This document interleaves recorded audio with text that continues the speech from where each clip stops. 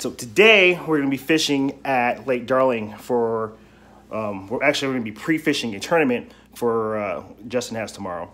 So uh, yeah, hopefully everything goes well today, catch some big fish, and uh, hopefully it works out well for him tomorrow. So, so our tactics today are gonna be using swim baits, big swim baits, four to five inch swim baits, um, and we're gonna be concentrating our efforts in shallow water. So hopefully that pans out for us. We'll see and hopefully we stay on the fish all day. If not, we're gonna have to change our tactics and go find more fish. So yeah, so bear with me, and yeah, and um, let's go fishing.